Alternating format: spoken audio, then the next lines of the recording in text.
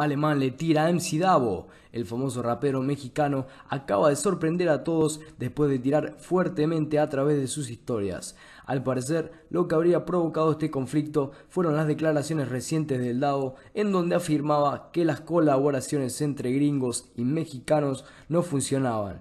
Y como sabemos, uno de los artistas que más ha colaborado con raperos estadounidenses es alemán, por lo que este se sintió atacado, así que veamos lo que dijo hacerse famoso es bien pelado, perros. Lo difícil es ganarse el respeto, cabrones. Recuerden eso, ¿eh? Lo difícil es ganarse el respeto y abrirse las puertas. Puertas donde siempre soñaste estar. Eso es lo cabrón para todos, ¿sabes? Andan hablando como pendejos. Yo pienso que eh, colaborar con yo. Chinguen a su madre, no digan pendejadas, puñatones. Porque no pueden, perros. No se lo pueden, no les abren las puertas. Yo sí voy con Snoop Dogg y hago un pinche hit. Yo sí voy con Cypress Hill y hago un pinche hit. Voy con, ¿sabes qué, güey?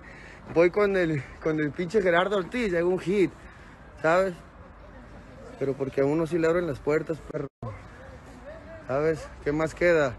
¿Qué más queda? Quejarse porque, ay, no, no jale un fit con este, con el otro.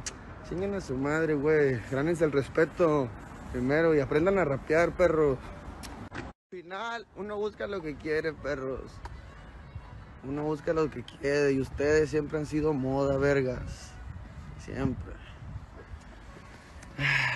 Yo busco algo más allá.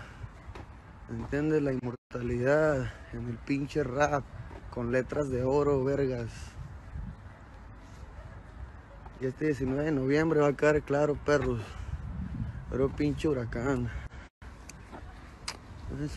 I'm high as I've ever been, higher than heaven sits. Roll up my weed and think about my exes and jealousness, how to stay current and relevant.